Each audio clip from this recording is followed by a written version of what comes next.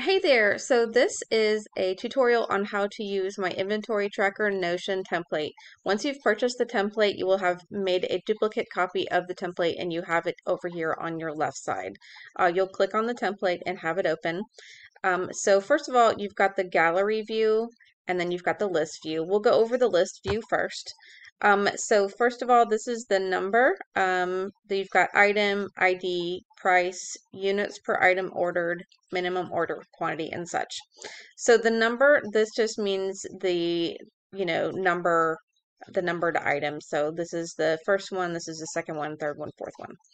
Um, the next is your actual item name. So if you are, you know, a business owner that is jewelry, t-shirts, soap, whatever, um, this is the actual item. So you can just double click in here and then just write, you know, the item name here. So say you're making soap. Um, and then the ID number. So say it's the SKU number or whatever ID number that you've got for the item that you're purchasing.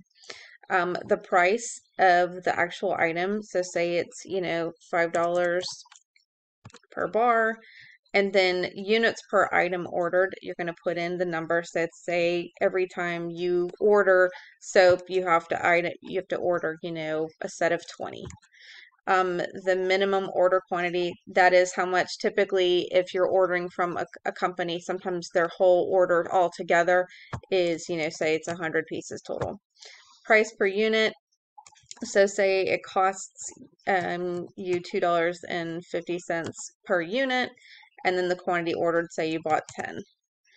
Um, so to go over, this is a little bit different than in Excel. So once you're here in the cell, you're kind of clicking it and making sure that the, the little cell turns blue and then you can use your arrow keys and then go to the right and then you can kind of get over. Okay, so we were at quantity ordered, um, number of units in stock. So whatever you have in-house, you've got 10. I can move this over a little bit. Minimum quantity of stock. So however much you want to have in your stock at all times. So say you don't want to get any lower than 25. Total quantity available. So uh, everything you've got in stock, say you only have 50. And then status, double click, you can choose low stock, no stock, or in stock. So say we'll have low. You can put the supplier name and then the order date. So double click in and choose the date that you placed your order. Um, then we're going to arrow to the right here, expected arrival date. Uh, your shipping method, say you purchased it through, um, you know, and they're shipping it through USPS or say it's UPS. Tracking number, you can put that there.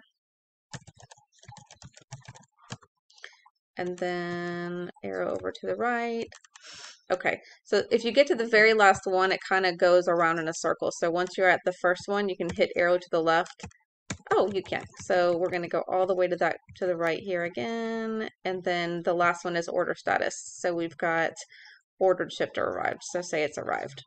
Um, so that's how that works. And then we've got things on the bottom. So say we've got the total quantity available. This will sum up everything you've got. So all of the items that you've got total we'll add here. So say we you added, you've got a hundred, and that's gonna um, change your total here. Say you've got a thousand, and then it's gonna add everything there. Um, and then minimum quantity that adds up for you. Um, let's see, me arrow to the left here. Um, quantity ordered, price per unit, all this sums up for you. Um, you can also open this as a full page um, and then you can see a little bit better and then you can move your um, bar to the right and kind of see it a little bit better there.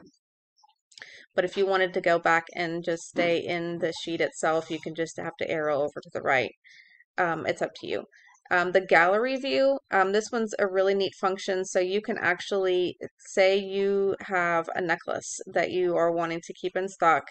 Um, you can hit edit here. Actually,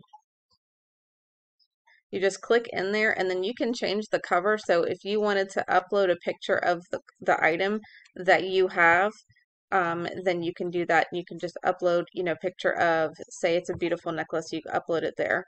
Um, I just went to sun, Unsplash and then chose, you know, a pretty picture because I put that in there.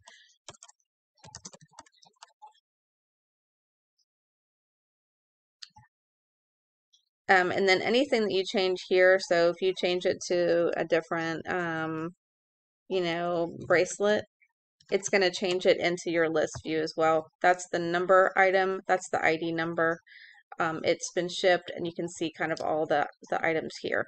So say you change that from a bracelet here, um, it changed it to a bracelet there. Um, once you get in, you can literally, um, if you want to just delete all of my stuff, you just literally click and drag and then hit the delete button. And then you can, um, here, I'm just going to do with a couple here. You're just going to delete my items and then that you can start from scratch and then put all of your items there.